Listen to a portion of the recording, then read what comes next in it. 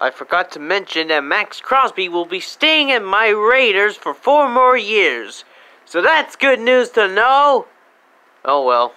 Aaron Rodgers will be staying in the Packers for four years also. At least Danger Russ is with us at the Broncos, so that's gonna change everything. I fucking hate you, Denver. Oh, shut up, Seahawks fan.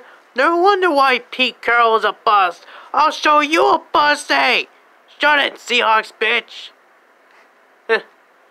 NFC West Seahawks, just another downward spiral, am I right? Ah, maybe not.